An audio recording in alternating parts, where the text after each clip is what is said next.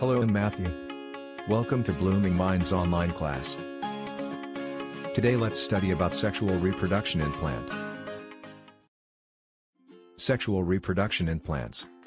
What is sexual reproduction in plants? Sexual reproduction is a process where two parents are involved in producing a new individual. Offspring which is produced by the fusion of gametes, sex cells, from each parent. Animals like dog, cats, lions, giraffe, humans, etc. all reproduce sexually. The same way in plants also occurs. PSS of sexual reproduction. Process of sexual reproduction.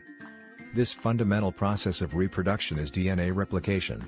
In other words, if an organism wants to continue its species, then they need to transfer their traits to the next generation by DNA, genetic information, copying which occurs during the process of reproduction. We know asexually reproducing organisms copy their DNA and divide themselves into new cells which are their clones. Since the process of replication is not completely reliable, there are chances of variation, but they are quite limited. Organisms need to adapt themselves to the changing environment. The creation of variants needs to be hastened for this reason. This will only happen when there is a union of two different DNAs. This highlights the significance of sexual reproduction in organisms. If two reproducing cells simply join, the chromosome number in the new organism will be doubled.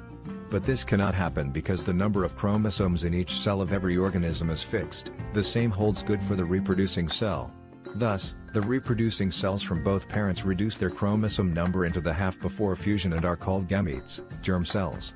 In simple organisms, the size and shape of gametes are almost the same. But in higher organisms, a male gamete is small and mobile while a female gamete is large, immobile and they store food for the fetus. The gametes are produced in a specialized system called the reproductive system. Features of sexual reproduction. Two parents are involved, both male and a female. Gamete formation and fertilization take place. The whole process is slow and lengthy.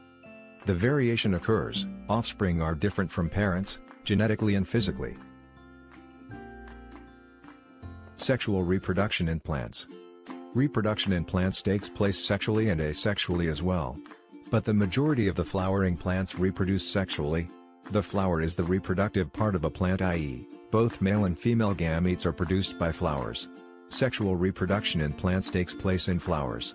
The complete flower typically consists of four parts. Petals. Sepals. Stamen, male reproductive part. Pistil slash carpel, female reproductive part. Stamen, male reproductive part, consists of anther and filament. The anther is a sac-like structure that produces and stores pollen.